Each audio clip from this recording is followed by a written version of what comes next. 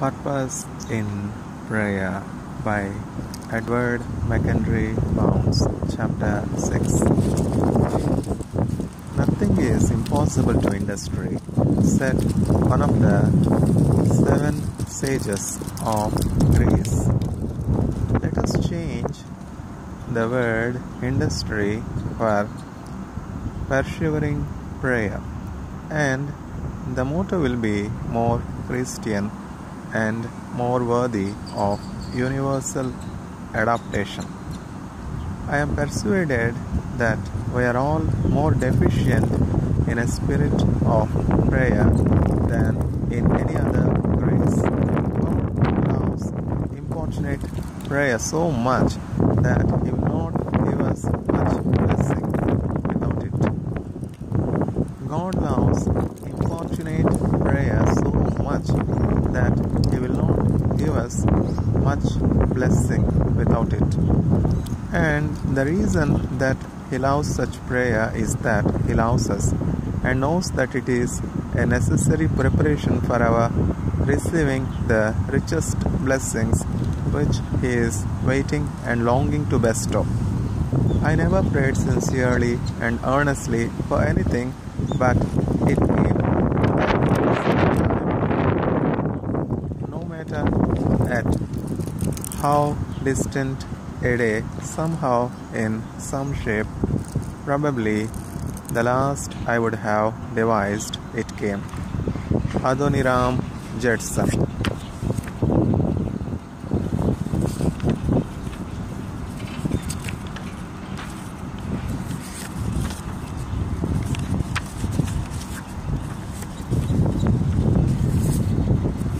It is good.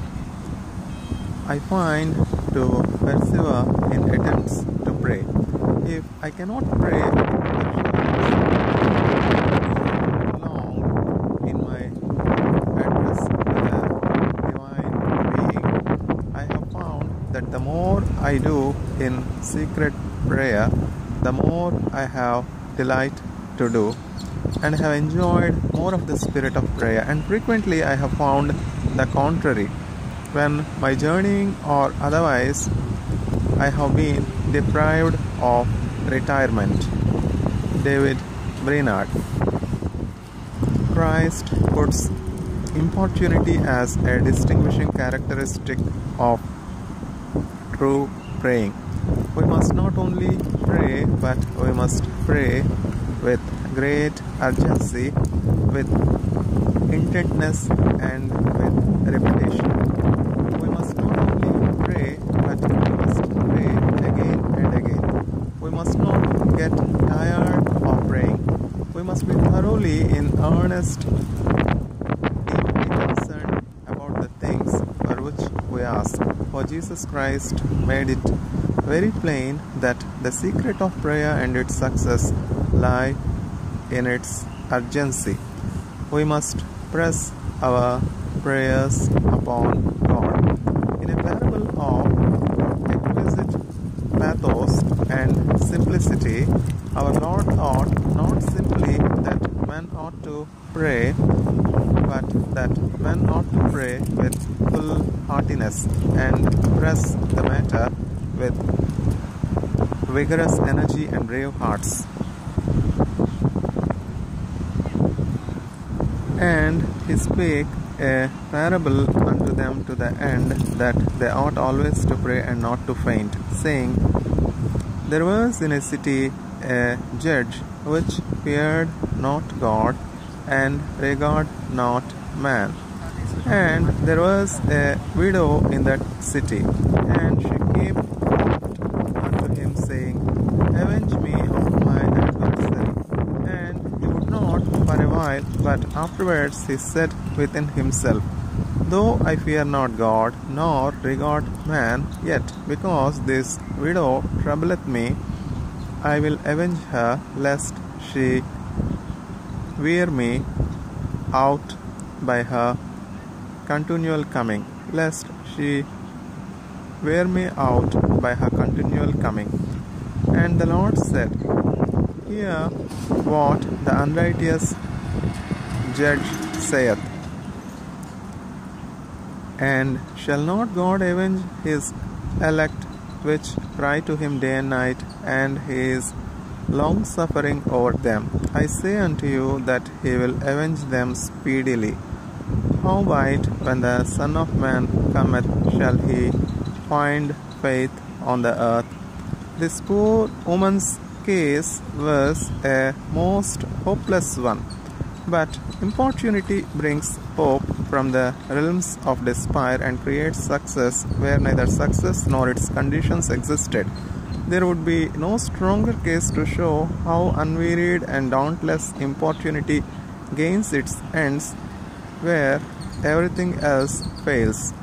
The preface to this parable says, He spake a parable to this end that men ought always to pray and not to faint. He knew that men would soon get faint hearted in praying, so to hearten us, he gives this picture of the marvelous power of opportunity.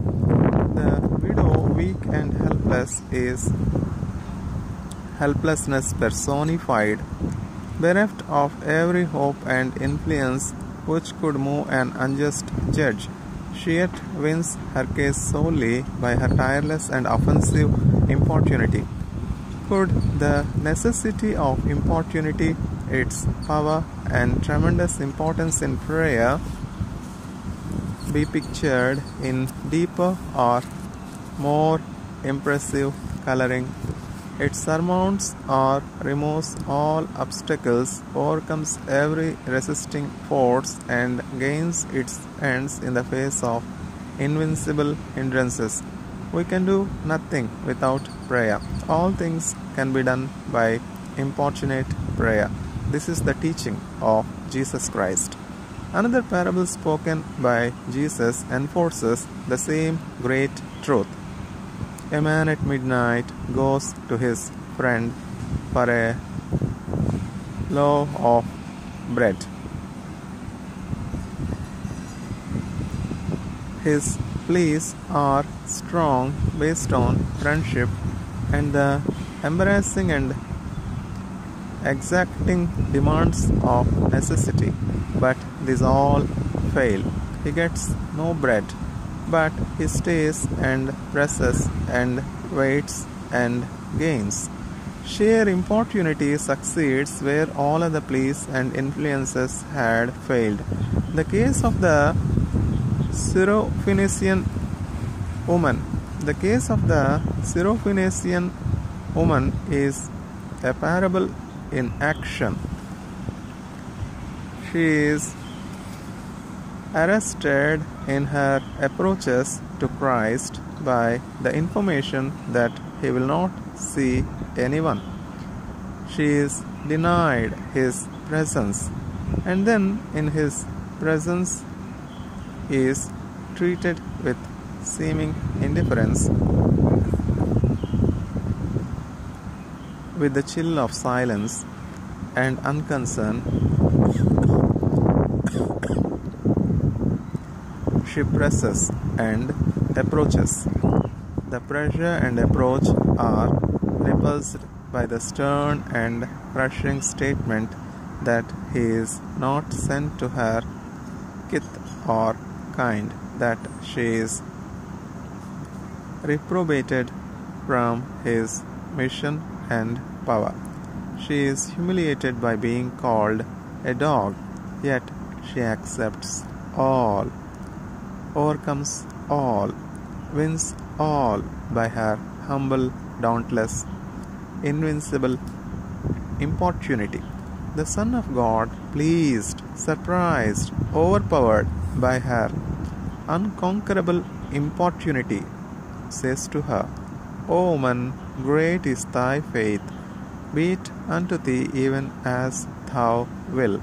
Jesus Christ surrenders himself to the importunity of a great faith. And shall not God avenge his own elect, which cry day and night unto him, though he bear long with them? Jesus Christ puts ability to importunate as one of the elements of prayer, one of the main conditions of prayer. The prayer of the Syrophoenician woman is an exhibition of the matchless power of importunity of a conflict more real and involving more of vital energy, endurance, and all the higher elements than was ever illustrated in the conflicts of Isthmia or Olympia. The first lessons of importunity are taught in the Sermon on the Mount. Ask, and it shall be given. Seek, and ye shall find. Knock, and it shall be opened. These are steps of advance for everyone that asketh receiveth, and he that seeketh findeth, and to him that knocketh it shall be opened. Without continuance, the prayer may go unanswered. Importunity is made up of the ability to hold on, to press on, to wait with unrelaxed and unrelaxable grasp, restless desire, restless desire, and restful patience. Importunate prayer is not an incident but the main thing, not a performance but a passion, not a need but a necessity. Prayer, in its highest form and grandest success, assumes the attitude of a wrestler with God. It is the contest, trial, and victory of faith. A victory not secured from an enemy, but from him who tries our faith, that he may enlarge it, that tests our strength to make us stronger. Few things give such quickened and permanent vigor to the soul as a long, exhaustive season of importunate prayer. It makes an experience, an epoch, a new calendar for the spirit, a new life to religion, a soldierly training. The Bible never wearies in its pressure and illustration of the fact that the highest spiritual good is secured as the return of the outgoing of the highest form of spiritual effort there is neither encouragement nor room in Bible religion for feeble desires, listless efforts, lazy attitudes. All must be strenuous, urgent, ardent, inflamed desires, impassioned, unwearied, impassioned, unwearied insistence.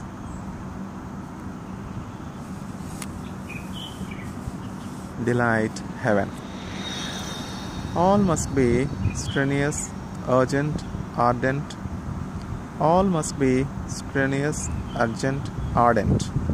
All must be strenuous, urgent, ardent. Inflamed desires, impassioned, unwearied insistence, delight heaven. God would have His children incorrigibly in earnest and persistently bold in their efforts God would have His children incorrigibly in earnest and persistently bold in their efforts. God would have His children incorrigibly in earnest and persistently bold in their efforts. Heaven is too busy to listen to half hearted prayers or to respond to pop calls. Heaven is too busy to listen to half hearted prayers or to respond to pop calls. Our whole being must be in our praying, like John Knox. We must say and feel, Give me Scotland, or I die. Our experience and revelations of God are born of our costly sacrifice, our costly conflicts, our costly praying. The wrestling, all night praying of Jacob made an era never to be forgotten in Jacob's life, brought God to the rescue, changed Esau's attitude and conduct, changed Jacob's character, saved and affected his life, and entered into the habits of a nation.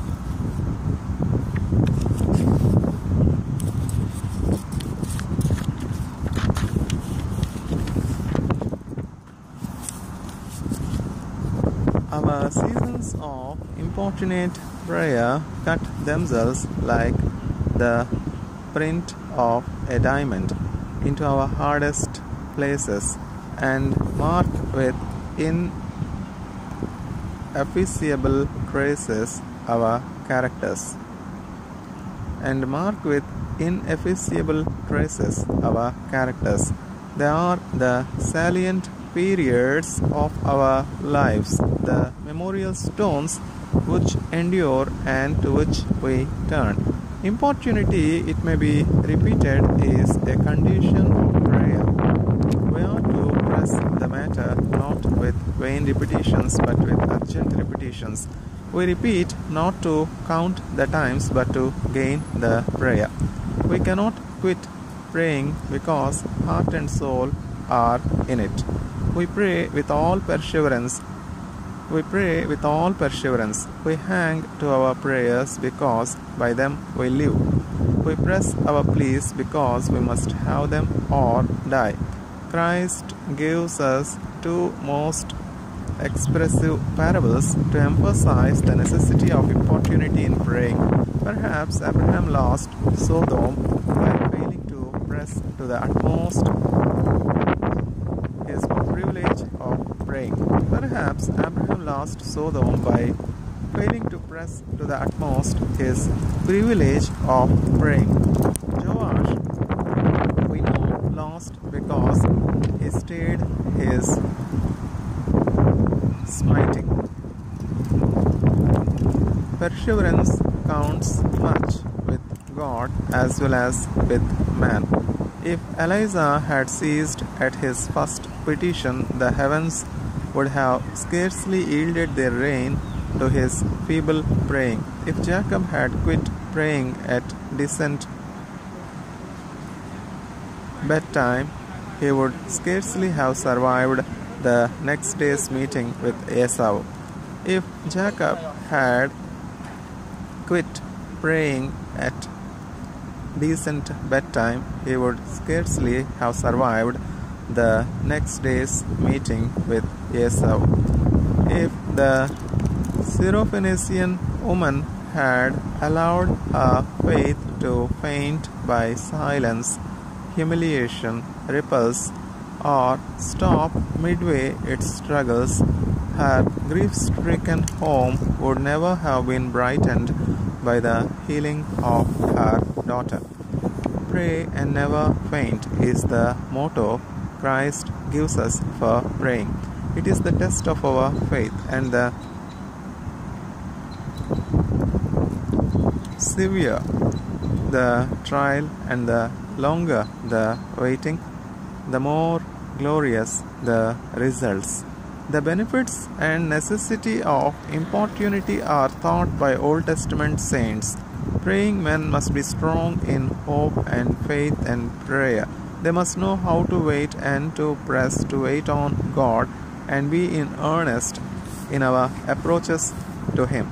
Abraham has left us an example of importunate intercession in his passionate pleading with God on behalf of Sodom and Gomorrah, and if, as already indicated, he had not ceased in his asking, perhaps God would not have ceased in his giving. Abraham left off asking before God left off granting.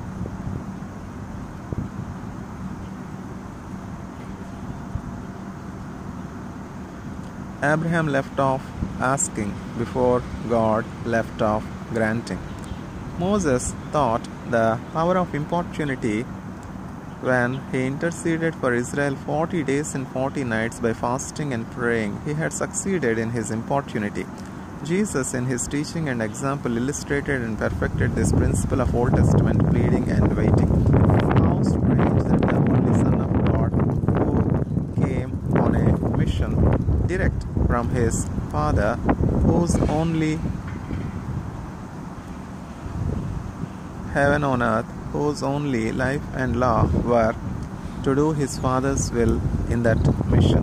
What a mystery that he should be under the law of prayer, that the blessings which came to him were impregnated and purchased by prayer.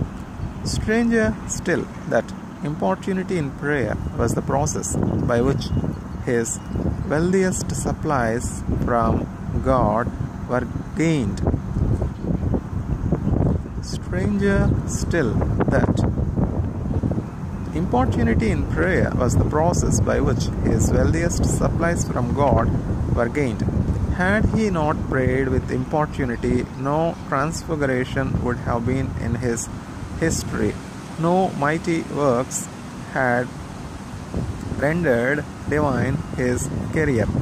His all night praying was that which filled with compassion and power his all day work. The importunate praying of his life crowned his death with its triumph. He learned the high lesson of submission to God's will in the struggles of importunate prayer before he illustrated that submission so sublimely on the cross. Whether we like it or not, said Mr. Spurgeon, asking is the rule of the kingdom. Ask and you shall receive. It is a rule that never will be altered in anybody's case.